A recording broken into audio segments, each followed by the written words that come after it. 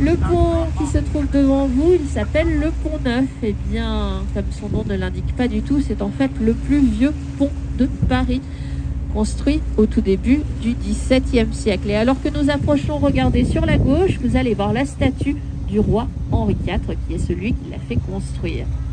The bridge in front of us is called Pont Neuf. That means the new bridge. Well, it's the oldest still standing bridge in Paris, built at the beginning of the 17th century. And as we approach, look to the left, you're going to see the statue of King Henry IV, the man who commissioned this bridge. Alors, si ce pont a été appelé neuf quand il a été construit, c'est en fait parce qu'il était très différent de ce qui se faisait à l'époque. C'était l'un des premiers à ne pas avoir de maison sur le pont, donc les gens qui traversaient pouvaient profiter de la vue.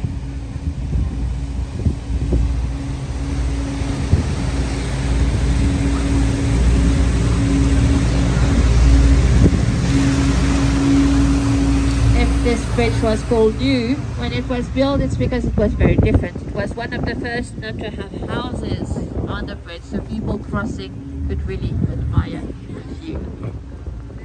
Sur votre gauche, sur l'île, vous allez bientôt voir un très beau bâtiment. C'était le Palais Royal au moyen